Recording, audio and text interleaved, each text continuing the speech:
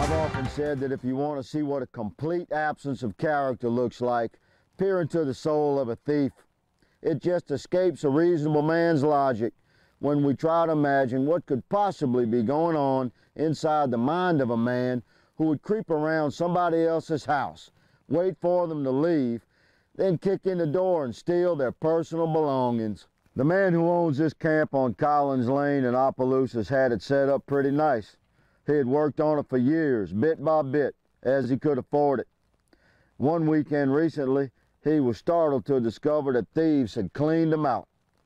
They stole two large flat screens, his guns, his fishing poles and tackle, his kids' video games and console. They even took a collection of model cars, an old brass diving helmet, and his Whirlpool dryer. Unbelievable. If you're the parasite that did this, hear me good. You make decent folks sick. You're like a disease, a cancer on society. You'll never amount to anything. You have zero to offer the world, and you're bound for hell. If we have anything to do with it, we'll introduce you to serious penance before you reach your ultimate and appropriate demise. What will you do with this good man's belongings? Will you give stolen model cars to your unfortunate seed to play with?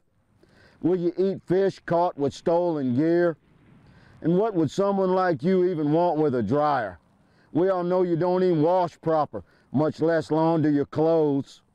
Here's my promise to you. We will identify you, arrest you, and put you in our smallest cell. Unless you get caught crawling through the wrong window. If that happens, wouldn't that be tragic?